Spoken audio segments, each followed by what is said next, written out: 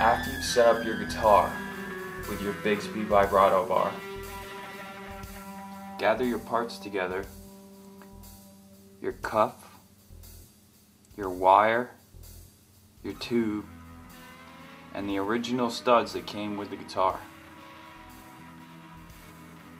Okay, take your tube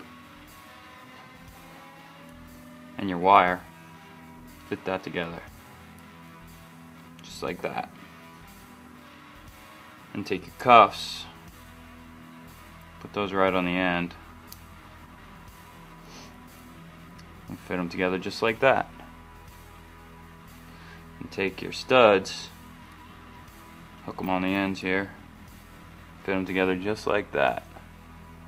So that everything looks like this.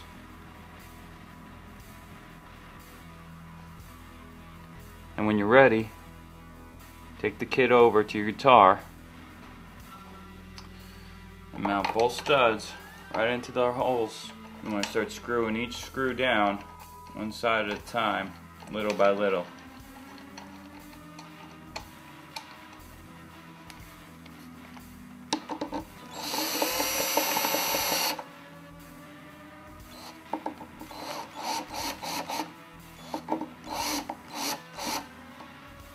As you can see here, I've only screwed the bolts down just enough so that it breaks the line with the top of the bridge.